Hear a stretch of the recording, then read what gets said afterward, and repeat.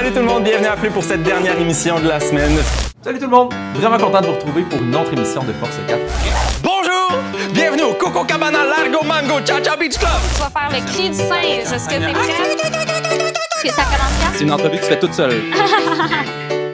Non, non, c'est pas vrai, hein? Je sais pas quoi dire. Allez. On recommande habituellement aux jeunes de faire 60 minutes d'activité physique par jour. Pour certains, c'est beaucoup, pour d'autres, c'est juste normal. Mais si je vous disais, hey, on s'en va courir pendant 4 heures et demie, ça vous tenterait-tu? Seriez-vous capable de relever le défi?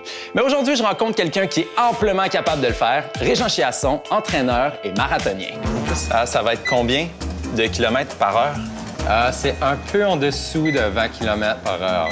Maman, je t'aime. Ah! OK, ça, c'est C'était ça, 3 ta minutes vitesse? 16 pour 42 km. Ouais. On s'en va s'échauffer. Allez, allez, allez. Je sens que j'ai le style.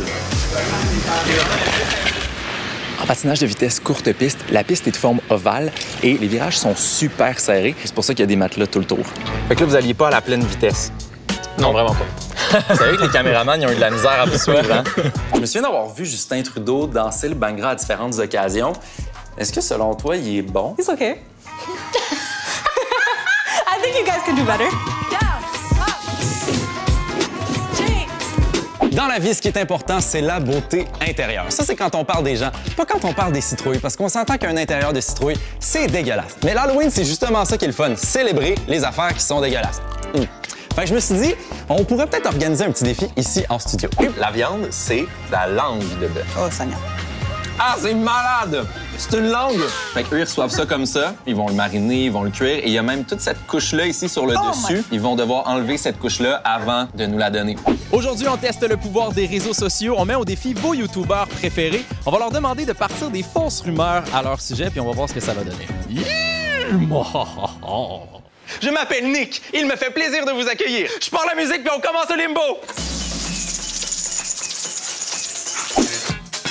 Quand j'applique or sur ma peau, je me sens comme sous ma douche. Avant, j'avais l'impression que les gens pouvaient pas me sentir. Maintenant, c'est juste tellement vrai. Oui, vous puez. Non, je peux pas. Alors d'où vient l'odeur? Mais là, j'en ai aucune idée. Et moi non plus. Je suis qu'une pauvre victime. Je veux partir. Ça, le calme me donne des allergies. Je... Il devrait faire un film avec un poisson comme ça. Ils en ont déjà fait un. Ah oui? Oh, bonsoir! Ouh là là, oh là là, l'ambiance en studio est survoltée!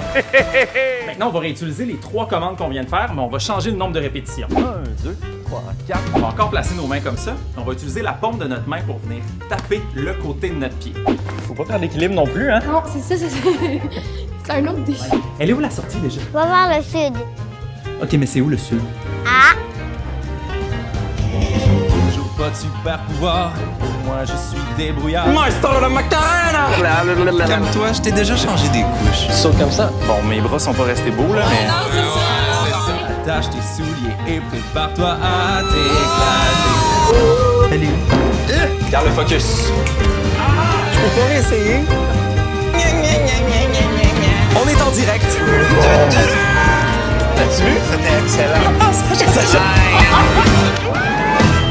哈哈哈哈哈